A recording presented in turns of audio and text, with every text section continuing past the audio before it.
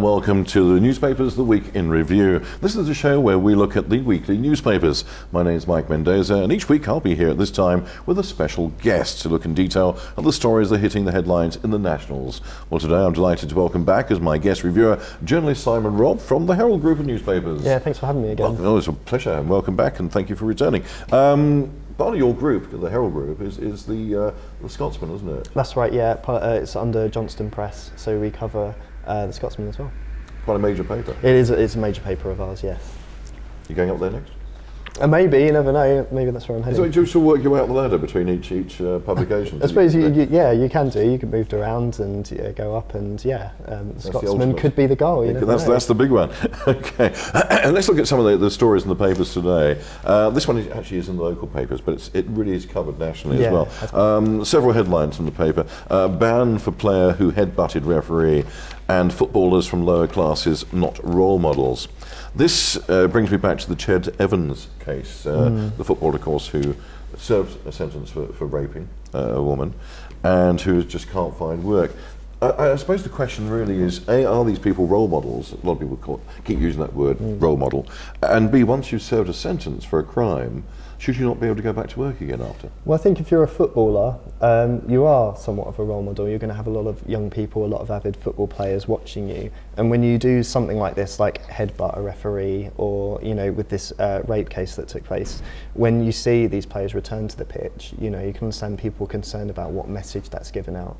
Um, and obviously, with Ched Evans is struggling to find work, so there's a lot of people out there who don't want to see him mm. just as easily finding a job again after what he did. You know, should the punishment continue beyond the sentence? Is the question. But surely that, that that's what it's all about. It's, it's rehabilitation. It is. Uh, it, it's going to prison, serving your time, serving your sentence, and then coming back to lead normal life again. Mm. But you know, sometimes when you screw up, uh, unfortunately um, and especially if you're in the public eye, maybe it's not a good thing to return back onto people's TV screens or in the papers. Um, but you can understand, you know, obviously people, essentially you've served your sentence, you're rehabilitated and you should be able to find work afterwards. I mean, I can understand the story about, uh, you know, ban for player who headbutted a referee. Mm. You know, do that on the pitch. No, you don't do it. No. It will make other kids want to, want to, want to do it. Uh, I mean, there's a number of referees I think I'd like to headbutt at times, but uh, that's beside, beside the point. um, but I'm, I'm, quite concerned how the uh, it's almost like um, the, public are deciding you're, you're going to be guilty the rest of your life. Yeah, obviously, and I think you know. Again, this is it's, it's going to be tougher on people who are in the public eye. You've got a lot of fans, you've got a lot of followers, and they're going to be very upset when things like this happen. And people are going to be worried about what it's how it's going to reflect on our youth and our impressionable people in the society. And you know, maybe it shouldn't be so easy to find a job back in TV or back in sports and things like that when you do uh, acts like this.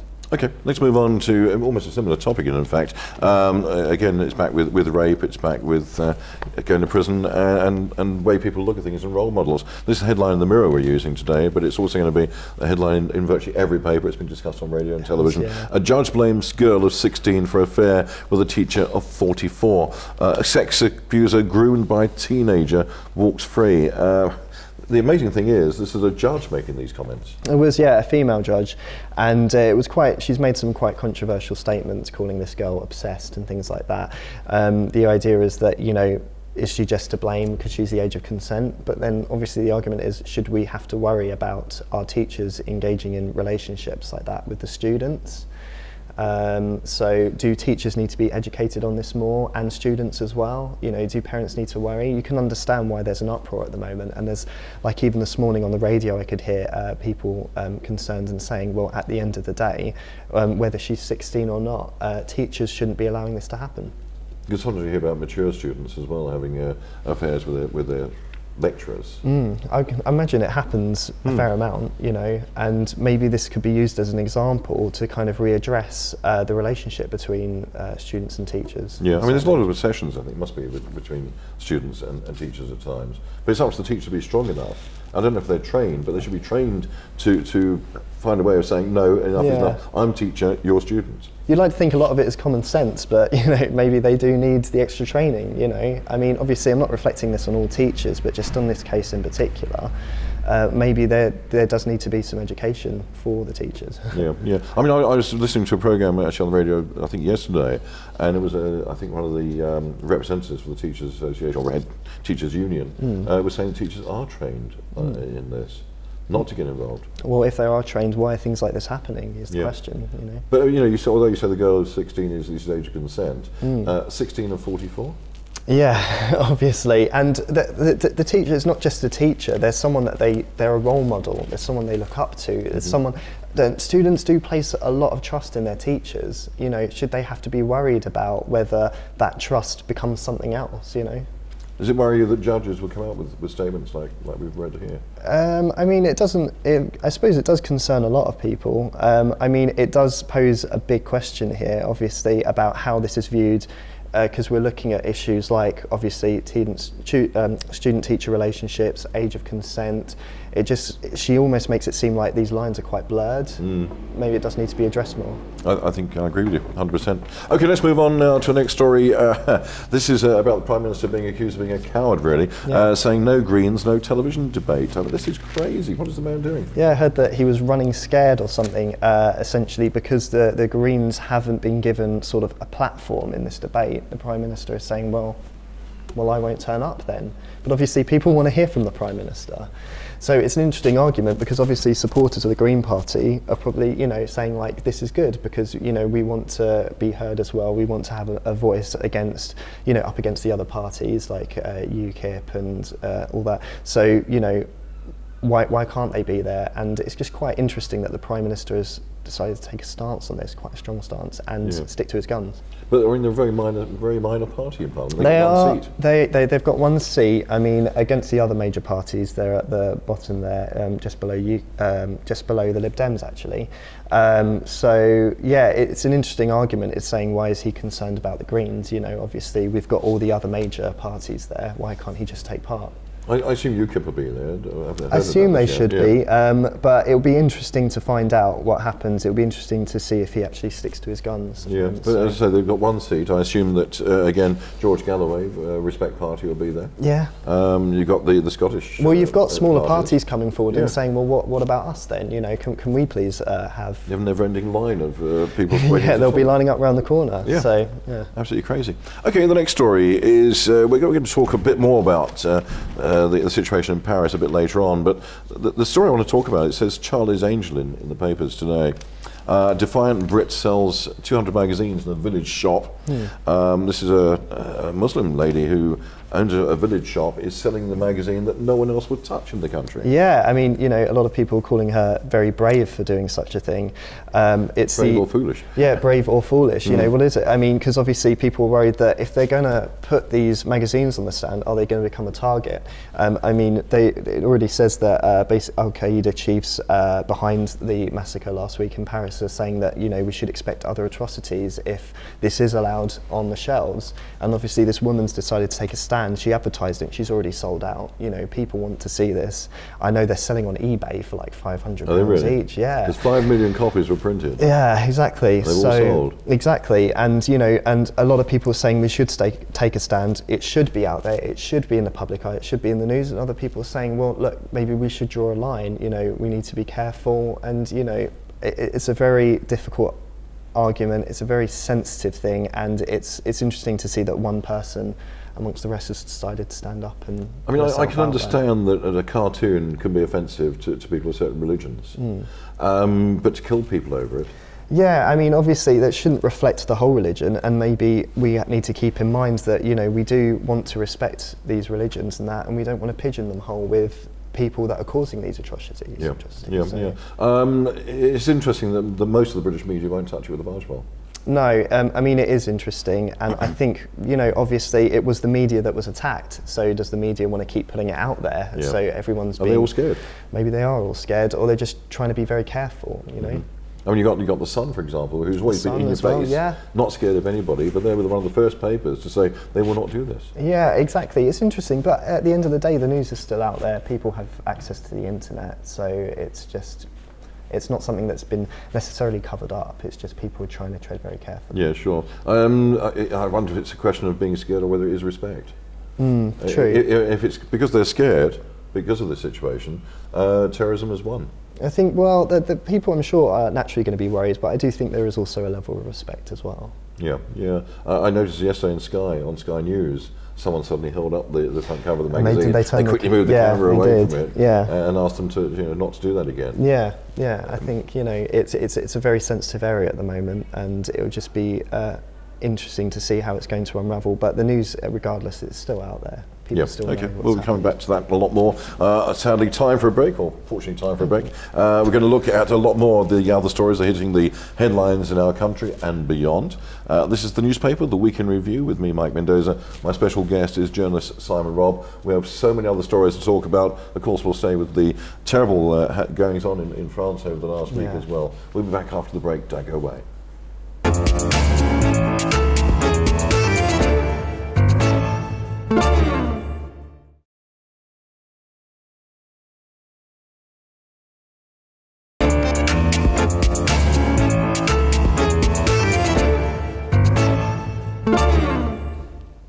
Welcome back to the newspapers and the week in review with me, Mike Mendoza. My guest, the returning journalist Simon Robb from the Herald Group of Newspapers. Thanks very much And uh, you had your cup of coffee, you had a cup of tea, you've had water. I'm all caffeined up, ready to go. again, isn't yeah, it? it is.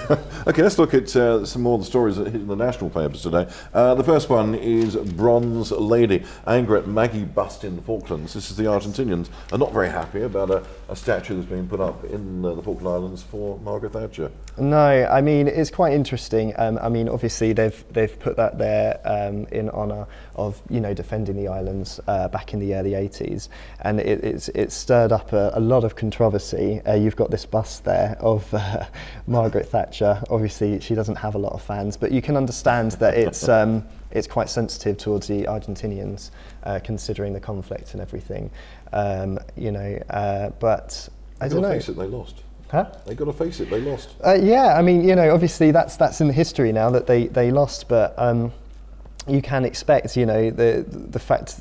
I mean, I, I remember that someone was saying that, you know, are they rubbing it in by putting your bust there of uh, Margaret Thatcher? But you know, it's something that a lot of people are proud of as well. You Yeah. know, that we we stood for it, and uh, you know, it's just something there to commemorate it. It's I think this sort of thing, uh, Margaret Thatcher herself, and uh, she's always going to split the public, isn't she? All the time. Even in death. Okay, uh, this is a story in The Sun, and I know that uh, a lot of people I work with love The Sun. Uh, and this story says, Welcome to the Green Republic of Right On. Uh, Ecos run one town, and this is what it's like. This is a story really rubbing it into Brighton. Oh, it is. Yeah, they've been a little bit mean. Not easy being green, just ask the people of Brighton. The seaside town is awash with loony policies, uh, proposals such as traffic calming, sheep, uh, meat free Mondays, uh, transgender toilets. Uh, the, uh, the, I mean, the story there is only that shows uh, travellers, shows rubbish piling up in the streets, and it shows uh, nowhere to park. Yeah, I mean, it does paint a very extreme picture. Um, it does make it sound like we're all up in arms here, which isn't necessarily the case. But you can understand some of the policies have not been in favour of everyone. Obviously, um, the parking fees, things like that, reducing the speed limits to 20 miles per hour in certain roads and things like that. Um, I think loony policies is a bit mean, um, you know, and it's because we are quite a diverse um, community here, and we do we're very proud of the fact that, that we have such a strong LGBT community, and introducing things like transgender toilets is quite progressive, I think. But obviously, there are certain things here, especially with recycling and issues like that, that are a very hot topic at the moment. And um, yeah, the Greens have not had a very pretty picture painted of them across the uh, rest of the UK. Okay, so many stories I want to get in. Mm. Uh, the next one, Pint of Order. Uh, it's pub landlord versus Farage in the election. Uh, This is, is uh, pub Yeah. Mm. landlord Al Murray, who's a, who's a very funny comedian, Yeah. uh, who now says he's going to stand against Farage at Thanet. Well, he's promised us a, uh, a penny a pint Mm-hmm. or something like that. Yeah, definitely, I'd vote for him. Um, it's quite interesting, really. policies, yeah. yeah, talking about loony policy. He's he's sort of making uh, obviously a mockery.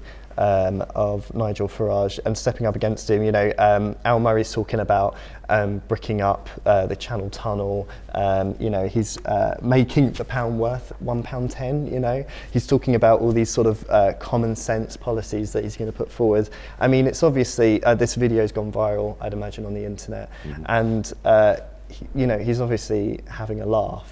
but it'd be quite interesting to see how many people actually take his side on this. I mean, obviously, And it really is having a go at uh, UKIP. And, and He us, is, he's got the, a the pound of it. sign drawn in a very funny way as part of his logo. He is. A- And instead of UKIP, it says FKUP. It does, yes, exactly. Um, so you know, it, it's it's a very funny, it's a very amusing campaign, and it's just it, it'll be very interesting uh, to see how this goes. I don't know if he's actually officially going to stand don't or know, I not. think it just a- I seems think it's a joke. It, it is a joke, but yeah, it'd be interesting to see if he does. Yeah, very, very funny.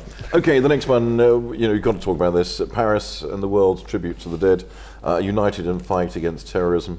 Uh, Je suis four million. Uh, another story, that's for Charlie. Um, you know, the, the headlines were throughout the country and, and on television. It really took us over. I mean- awful thing to happen. It is, and I mean, this is something that's gone on for over like those the brothers were on a rampage for quite a long while. Um, it's like a 54-hour, you know, reign of terror that they had on Paris, um, and it's it's very nice to see so many people come together, and it's so it's so nice to see you know Paris and France come together and all the nations surrounding it, you know, standing by, and you know, and I think you know, with such atrocity, atrocities happening here, it is nice to see that you know people are still taking a stand. I mean, you know, it was like this one woman's stand that she's with selling copies of it Yes, yeah. from a shop which we've already discussed, and that, and you know, this is going to be in the news for a while.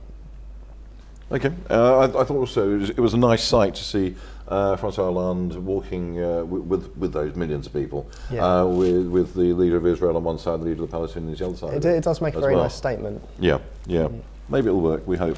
Uh, the next one, my old boss, Kelvin MacKenzie, writing uh, in the papers today. Uh, a Charlie Hebdo here would put Farage at number 10. Yeah. Bring all the racists out? It's it's it's it's, it's it's quite an interesting statement. I don't know how true that is, but um, it's because obviously he thinks that we're just a step away of being pushed towards the UKIP direction. With obviously what's been happening in Paris, if something like this happened here, would people suddenly mindset change? Would we suddenly be behind UKIP and their policies? But I don't know how true that is.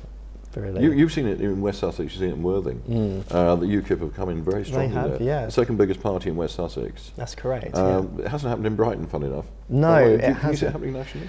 Um, I think I don't know. I mean, for instance, in Brighton, you can understand you've got there's some rogue councillors that make really silly statements on behalf of the UKIP about you know storm like gay marriage causing storms and things like that. I mean, it is enough to not take the party very seriously. So I can understand why it's not happening in places like Brighton and that. Uh, and beyond the rest, I don't know. Um, it'll be interesting to see. I don't know how true it is that if we had something like this, it would push UKIP to the front. Um, but it is an interesting debate in the least. I I wonder if, if Farage will actually cash in on this himself anyway. It's a horrible thought in a way that you could cash in on something like this, but yeah, you never know. I say it, bring the, it will bring the racists out of the woodwork. Mm, it I'm would, sure. yeah. Okay, the next story. Uh, I, I know you're a great fan of uh, Celebrity Big Brother. Yeah. and uh, we had the situation, of course, last week of, of Ken Morley, who was a horrific character when he went in there. It's just- And made himself even worse. I don't know why he. It, it's almost like I haven't watched uh, Big Brother in a long time, but this seems to be the series that's bringing everyone back into it, you know, and it's not necessarily for the right reasons. I mean, you've got this man who's just said these vile things on TV, and He's I very mean, racist, hasn't he? that he's been very racist. Mm. Uh, he's been sexist. He's mm. been even accused by Perez of being homophobic as well. And it's just interesting to see that he lasted that long. Actually, I'm surprised. And his wife has sort of kind of come to his aid, saying, "Well, you know, all this swearing and everything he's picked up from Shakespeare and watching Breaking Bad and stuff like that." And it's like, okay. I don't think that's really an excuse, um, but I'm glad to actually see him out of the house. Yes, I think a lot of people are. He, was- he was really grinding on people, wasn't he? He he was, and I think you know, it's quite a shame as well because obviously people followed him on a TV. I think he was on Coronation Street. Yeah. And it's, it's it's really strange that we've suddenly seen this other side of him that's actually quite scary. Um, but this is what Celebrity Big Brother is all about, really, isn't it? What's, what's your view on Paris Hilton then? Um, That's not his real name, of course. Uh, no, no, it mustn't have been. Um, Perez Hilton, he's an interesting character. I kind of like him, but at the same time, he annoys me slightly because he is sort of the centre of attention. I think he's on the right side, But I just think sometimes when someone's a bit too loud, it can get on your top. nerves. Yeah, a bit Yeah. OTT. You- You're aware of his background. Mm, He yes. did, he did a blog outing people was initially. Yeah, I mean, he did, and he's he's been also, you know, he's been called a bully, uh, cyber bully, and everything else But he like put, that. he put So- sex tapes on there of uh, celebrities as well. Yeah, yeah, he's he's sort of yeah, he's not. It, it- it's quite interesting because obviously. Um, you want people to be able to give us the news about celebrity, and the thing is, unfortunately, that stuff kind of sells. So Mm. he's kind of giving the public what they want, but at the same time, it's coming from the wrong place, really. Yeah, and there's a man who's had a hang up about Paris Hilton, so he changed his name to Perez Hilton. Yeah, he did, and it's gone down pretty well. I mean, people know the name now, don't they? exactly, yeah, yeah, more so than ever. Uh, I think we've got a quick moment to get this in. Um, this, this again hit the headlines over the last few days. Uh, it was the front page of The Independent this week. The new anti Semitism survey of British opinion shows alarming degree of prejudice uh, against Jewish people in this country, probably for the first time. It really, before the war. yeah, it really, really surprised me reading this because personally, I, I don't, I haven't experienced this. I mean, I'm not Jewish, but I haven't heard anything like this. So to, to, to hear that this is actually going on in the country just makes me feel quite ignorant. Um, and it's quite interesting what the statistics state, uh, state. It's almost like people are going back to a lot of the old stereotypes. They're even making, like it says here, a further 13% of those surveyed in the poll commissioned by the Campaign Against Anti Semitism agreed that Jews talk about the Holocaust too much in order to get sympathy, which is, I think is just a horrible statement to, to make. It's something that happened in history and I think should always be remembered. And I don't think you can accuse people of talking too much about it, especially trying to gain sympathy from it. And it's just a surprise to me that there is things like this happening. And maybe, again, it needs to boil down to education, starting with the youth, and just making sure that, you know, we shouldn't be attacking other religions uh, and Okay, for so such that's what we've got time reasons. for. Yeah. My great thanks to you, Simon Robb, for joining me today. We Thanks hope to see you me. back here very, very soon. Please Yeah, do. that'd be great. Thank you. Well, I'm back again, of course, next time for another edition of the Nationals, the Week in Review, here on Latest TV with another special guest reviewer, and that's Councillor Mary Mears. In the meantime, have a great week. Bye for now.